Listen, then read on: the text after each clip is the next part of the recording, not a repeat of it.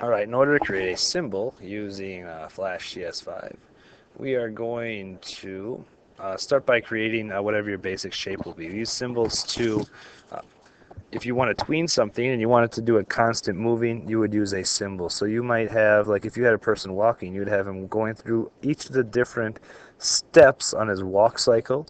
Uh, or if you wanted to have a, in this case, I'm going to have a ball bouncing across the screen, uh, screen.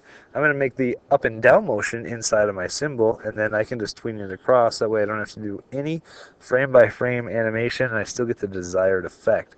If you look um, up animated GIFs, not animated GIFs, I'm sorry. If you look up sprites, um, those are people walking, like they use in things like video games, uh, 2D video, video games, uh, walk cycle. Uh, this will give you kind of an idea of uh, what we're talking about. So, but if I'm going to do a bouncing a ball, I'm going to start off with my oval tool, back of my properties li library, and I'm going to have a, um, make a red ball holding down shift. I'm going to make sure that is a ball and not an oval.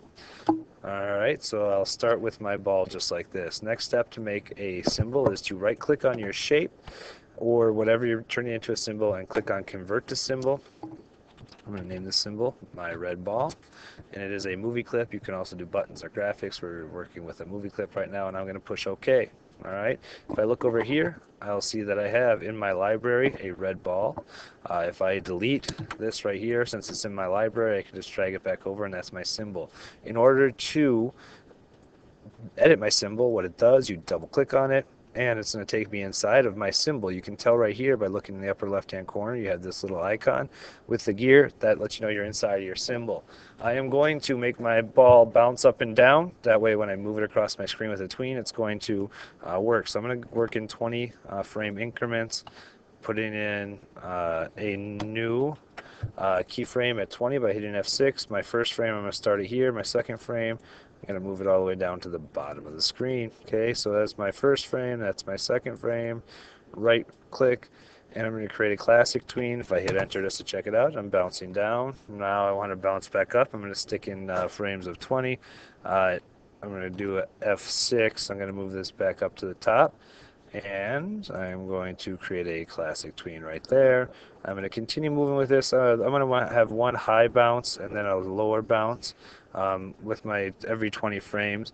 So if I go uh, F6, I'm going to bring it back down to the bottom for this frame. Alright, inside of here I'm going to create a classic tween. I'm going to bring it up much, much um, lower next time in my 20th frame by hitting F6. I'm going to bring it back to about right here and I am going to call that good. So um, we're going to have, uh, after I put in my classic tween, I'm going to call that good. So now I have a symbol. If I play my symbol, it's going to look something like, oh, I got to go back down to the ground. Something like that. So I got 100 frames uh, right here and it's just my ball bouncing. Um, control enter. There we go. That looks more like what I wanted to see. A shorter bounce and then a higher bounce. Um, so uh, that's what I want to do. Uh, I am going to go back. Actually, I'm going to this down a little bit. Uh, I'm going to go back into. I'm in my symbol right now. I'm going to go back into my regular movie. You'll notice you don't see any of that. That's all saved inside of this symbol. If I double click on here, bam, I'm back uh, to where my I can edit what my symbol looks like. Now that I'm that far, say I want to have a good long, take a good long time to get across the screen. All right, um, I'm going to start with the ball off the screen or end with the ball off the screen. I'm going to start with my ball off the screen on this side. All right, and then obviously I need to put my tween in here. If I preview my video, all right, we're gonna have a nice slow bouncing. Oh, see, I should my first frame on my other one I should change.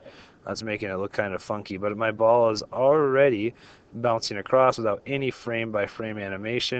And if I fix that choppiness in that first frame, uh, it would be uh, perfect. Would have saved me a lot of time. This is the same way if you have somebody walking, frame by frame walking, they can just repeat, repeat, repeat, repeat, repeat. And then when they get to the stop, last frame, you want them to stop. You just put in, um, instead of a symbol, you put in a picture of them standing still. And then uh, you would be good to go. Uh, so that's how you use a symbol. for this video, you need to have at least one of them uh, included.